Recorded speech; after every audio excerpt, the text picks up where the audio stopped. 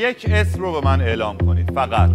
آقا مشتبا آقا مجتبا آقا مشتبا مشتبه از تو رو به قبلم و جاشو بلد نیستم. گان رو من می‌کشی؟ همشهریا بی خیال. یه پرنده تو دستمون نیاز به صد تا پرنده تو شاخوبر کدومتون با من بازی کردین الان دیگه مریم داری به مشتبا شکلات شهروندی رو میدی. از اسب افتادم از اصلا نمیافتم یک کلمه بشنوم کیک می‌کنم مثل اون فیلم مرا زردالو دوست داری؟ خیلی دیسلایک میدی؟ پس خانم مومن چی بود؟ شهروند بود؟ شما از بازی اخراج میشه